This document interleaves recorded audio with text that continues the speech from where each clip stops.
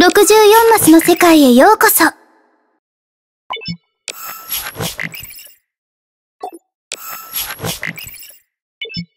私は64マスの中で兵士を滑るチャトランガです。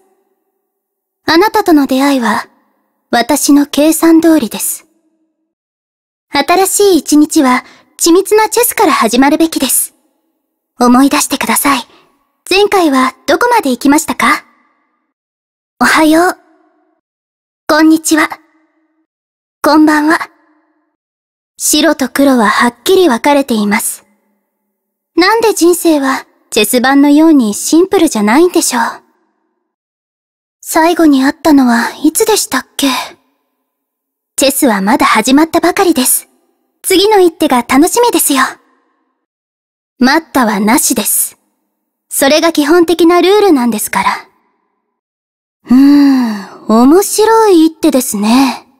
やはりチェスの世界の方々よりユニークですね。こんないい天気の日は、家にこもってチェスをするのに最適ですね。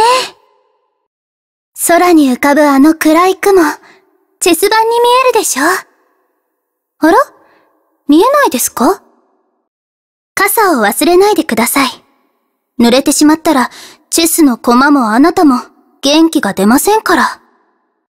もう完全に目が覚めたんですか？じゃあまずは、チェスプロブレムを一つ解いてみましょう。ランチの時間ですよ。ちょっと、チェス盤をテーブルにしてはいけません。紅茶をいただけますか？ありがとうございます。少量のカフェインは頭をはっきりさせてくれるんです。あれ？もう暗くなっちゃったんですか？まだ16戦目を始めたばかりだっていうのに。待って、寝る前にチェスをもう一戦できますよ。ずいぶん考えましたね。さあ、次の一手はどう動きますか？あなたの指揮を楽しみにしていますよ。究極の防御。完璧です。素晴らしい。ナイト。何度も言いましたよね。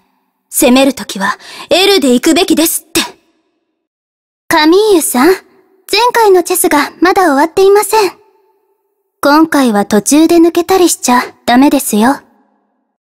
これは私を楽しませてくれたご褒美です。どうやら郵便物が届いたようですよ。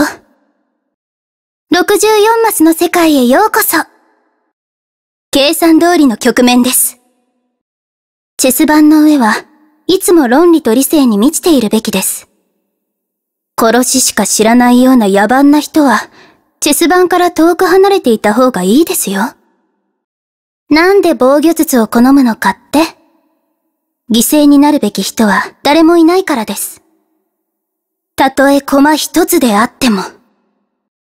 世界を勝ち取ったとしても、一番大切な人を失う気持ちを味わったことがありますか？あなたには、そのようなことが訪れませんように。チェス以外に私の興味をそそるものはもうないと思っていました。でも、見つけました。ほとんどの場合、次の一手を決めるために計算をしないといけないのですが、計算のしようがない場合もあります。例えば、あなたと一緒にいる時とか。次の一手を考えさせてください。防御式の強化が必要です。だから来たんです。計算によりますと、この戦いは勝利です。はっキャスリングクローズドポジションう、ふぅ。チェックメイト。計算通りの勝利です。誰も捨て駒になるべきじゃない。